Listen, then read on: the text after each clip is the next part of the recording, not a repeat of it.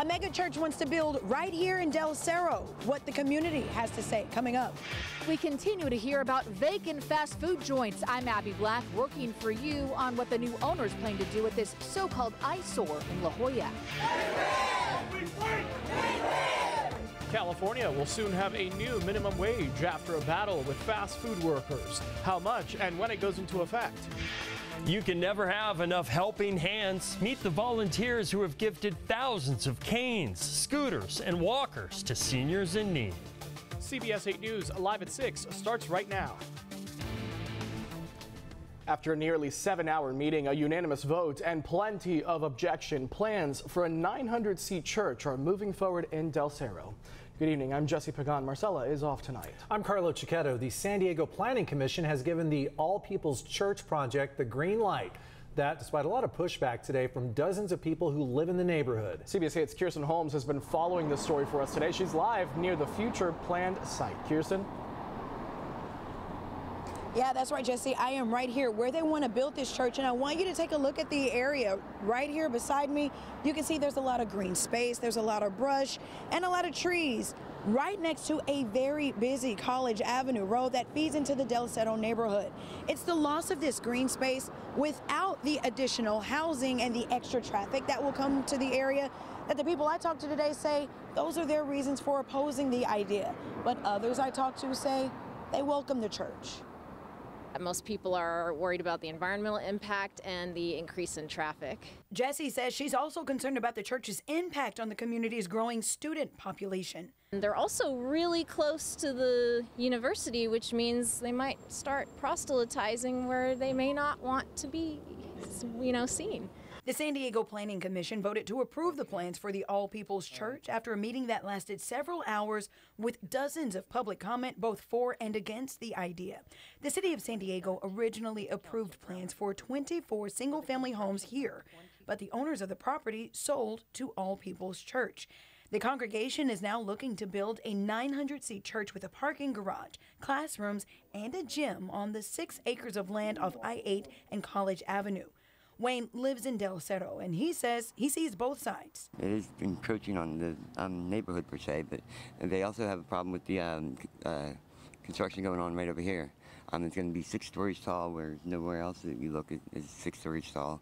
Mavis and Daniel say this project won't work in this spot. Uh, first of all, that we need housing here um, in Del Cerro, in San Diego in general. We have a lot of traffic already. We don't need a church in that corner they're building a building next door. We're very upset. We have children in the school. The traffic is arranged right now San Diego State. We don't need a church here. It doesn't matter what church it is. It wouldn't need any more building in that corner. Already a lot of traffic here in the area. This is a, a, small, although we're in San Diego City, very small area to have something of that size, regardless of the project, uh, a little bit overwhelming. Mike has lived in Del Cerro for at least 15 years, and he says this is NIMBYism at work, or not in my backyard. I don't know. I take a more global perspective. Aside from which, it's only it's really only on Sunday, and there are, are other alternatives. Uh, people in this neighborhood know how to get to the highway in various ways, so I'm fine with that. Okay, so the Planning Commission approved this idea with a few limitations like no future plans for a K through 12 school in this area, and they're limiting the hours and the days that the church will be open so that they can lessen the impact on the neighborhood. The next stop for this idea is the San Diego City Council. Reporting live for CBS 8, I'm Kirsten Holmes. Back to you. Kirsten, we heard people mentioning that traffic was a big concern against them. One of the reasons they're against that. It's, it's rush hour right now, so how does the traffic look like near where the church is proposed to go? How's it looking out right now? All right, so it took me 20 minutes just to drive nine miles, but I want you to get an idea of what traffic's looking like in this area. You see College Avenue is pretty clear, but you see down there we have heavier traffic for the rush hour hour, which is typically right there on the 8 at the College Avenue exit. And it'll probably be even busier if they have midweek worship services. Carlo? Kirsten Holmes reporting live for us. Thanks, Kirsten. Right now, San Diego Mayor Todd Gloria is pushing Governor Gavin Newsom to expand the state's conservatorship law. Under the current law, to qualify for conservatorship, you must be considered gravely disabled. State Bill 43 would broaden the definition to include people who suffer from mental illness or substance abuse, or people who are at great risk of serious harm. We have to be able to provide a level of care to these very vulnerable individuals because when we don't, we know what happens. They cycle through our emergency rooms, they interact with our first responders, they go to jail. I think we can all agree, no matter where you stand on this issue, that jail is not an appropriate place for people suffering from mental health issues. The bill has passed the legislature, and the governor has until October 14th to sign it. Most of California's fast food workers will soon earn a minimum wage of $20 an hour, among the highest in the nation. Governor Newsom signed this increase earlier today, and it takes effect next April. Racial justice, social justice, economic justice, you know, making more gentle the life of this world. Uh, that's a beautiful thing. And so, what a gift. What a gift that I get to pull this out. In exchange for a higher pay, labor unions are dropping their push to hold fast food corporations liable for the misdeeds of their independent franchise operators in California. The law also creates a fast food council that can increase the minimum wage each year through 2029.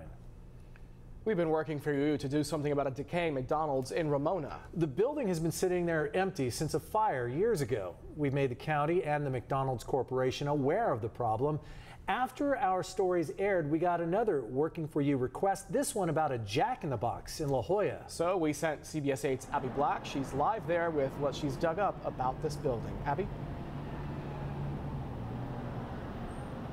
Jesse, we're across the street so we can give you a full picture of what this former Jack in the Box looks like here on Pearl and Cuvier streets. You can see that it is surrounded by a fence and the signage is missing. Now, we know that this can happen when properties sell or there's construction, but those who live here say, really? For two years? We're working for you. And I contacted the owner to find out what's going on. La Jolla is a global destination for tours, and for those living here, they take pride in their community. The public has come to us with general um, concerns about what La Jolla looks like and keeping La Jolla beautiful. When you drive down Pearl Street, you see the former Jack in the Box looks abandoned. It's surrounded by fencing, and the signage has been removed that building is one of the buildings that they're concerned with. We reached out to La Jolla Town Council President Trigger Strasberg after a CBS 8 viewer saw our Working For You story about concerns over an abandoned McDonald's in Ramona and said a similar story is happening in La Jolla Village. We went out to see the former fast food joint ourselves and learned the viewer wasn't alone. Vacant is one thing, but, but this has become an eyesore. I found Bishop's School, which sits behind the lot, bought the property in 2021 and were told the plan was to lease the building until the school converted it into a campus facility. I guess I was led to believe that the Bishop School was going to tear it down and build something in addition to their campus. So uh, I sort of trusted that that was going to happen soon. But it's been two years and it still looks abandoned. I reached out to Bishop's School. They sent me a lengthy statement. In part, it says, We prioritize the safety, health, and well being of our school community and greater community, which includes security of our campus properties.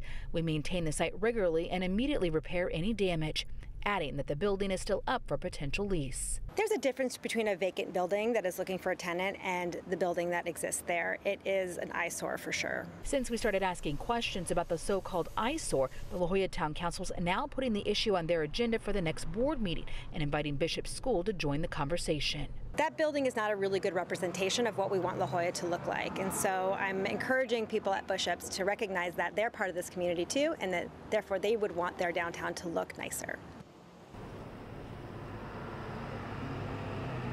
To read the Bishop School entire statement, go to CBS8.com. And again, the La Jolla Town Council is inviting anyone who's concerned about this issue to attend their next meeting that'll be held on October 12th at the La Jolla Rec Center starting at 5 o'clock. Jesse?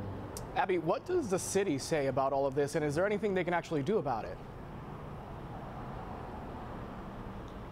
Well, I did. I, I, looked it up on the code enforcement to see if there were any type of violations, and I did not find any. So I called the city, and they say that they do investigate any vacant properties that are not maintained. But again, there was no violation, or excuse me, no complaints that have been filed. So if you go to CBS8.com and read this story, I will direct you on how you can file a complaint. Working for you in La Jolla, Abby Black, CBS 8. All right, you heard her from herself, working for you, Abby Black, in, in, live in La Jolla tonight. Abby, thank you. Don't forget, here at CBS 8, we are working for you. If there's something you'd like us to look into, email us at workingforyou at cbs8.com. The San Diego Public Library is part of a new campaign to make sure young readers can read banned books. The Books Unbanned campaign gives access to more than 250 books that are either banned or challenged in other parts of the United States in ebook or audiobook form. Some of the titles All Boys Aren't Blue by George M. Johnson and Toni Morrison's The Bluest Eye. The program is supported entirely by donations. First responders are typically credited with saving lives, but most of the time they don't get to reconnect with the people they save. Today, the San Diego Fire Department reunited with Tim Gajan. Last June, Gajan suffered cardiac arrest while on a bike ride in Point Loma. A bystander called 911 and gave him CPR while waiting for the crew to arrive. Statistics show that people that have my cardiac arrest, very, very small percentage even live. And then to come back to being pretty well normal pretty unique. Now, Tim wants everyone to know the importance of learning CPR and that anyone could have a hand in saving a life. History was made in three different ways today for the San Diego Diocese. For the first time ever, the San Diego bishops were consecrated on the same day. The ceremonies for Bishops Michael Pham and Felipe Pulido were held this morning at the St. Teresa of Carmel Catholic Church in Del Mar Heights. This is now also the first time the San Diego Diocese will have three auxiliary bishops at the same time, and the first time a bishop born in Vietnam will serve here in San Diego. Still ahead tonight on CBS 8 News Live at 6. A government shutdown is looming. What that means for military members and veterans here in San Diego. And we say goodbye to a beloved Harry Potter actor who brought happiness even in the darkest of times. Well, we're starting to see more cloud cover rolling in. We did have sunshine this afternoon, but we are gearing up for more clouds and a storm system and rain this weekend. Your complete forecast ahead. Plus, Hurricane Ian survivors look back at one year of recovery. Why officials say rebuilding is a slow effort.